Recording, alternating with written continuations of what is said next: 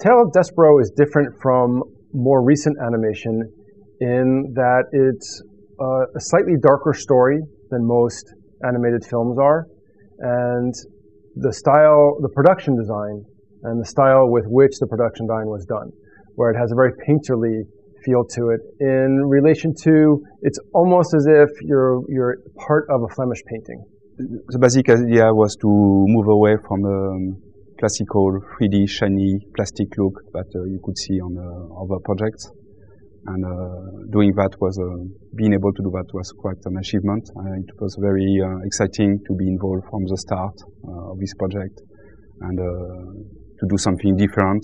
it was a first for for Framestore, the first feature animation project, and it's almost a first in, the whole industry uh, in terms of getting something like that. Uh, so to achieve the look, uh, we had to, to get a very soft and diffuse look for the characters and, and the sets. Um, so it, it meant that uh, we had to find solutions to, to move away from the classical uh, CG uh, look. And um, for the fur, we had to find solutions to actually get something very stylized and very different from uh, what you could see in uh, other CG projects. The biggest challenges on the Tale of Despereaux were taking the, the 2D animatic that we were given by Universal and the production design artwork and turning it into a 3D environment that was fully textured and modeled, fully lit with effects, um, with animation, and rendering it out to deliver a 90 minute film. At any given time, we had at least, at least two times the amount of the length of the film online because of the number of variations and versions and iterations we were doing to produce different looks and testing different colors and different textures on the film. So we turned to one of our production partners that we've been working with for quite a long time, Infortrend, to help us to increase our disk space and our storage space so that we would be able to have that much information online to be able to deliver the film and render the film out before, before it was actually due to be released in the cinemas.